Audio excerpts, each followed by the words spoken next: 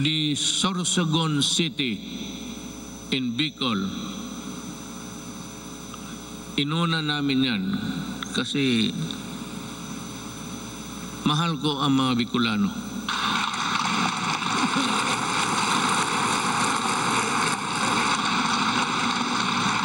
Pangangatawan ninyo yung pakpak ninyo ha. Baka the Sorsogon City Coastal Pass-by Road is targeted completion by the end of 2021 while the Davao City Coastal Road will be completed by 2023. Bakit? Why? Why is Davao last?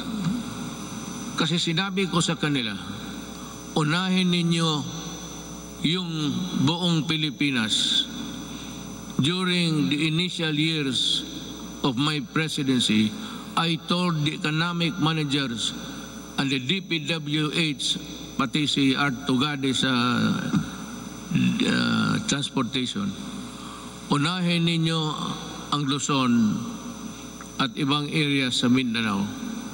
Do not look into the political entrails of this city and uh, other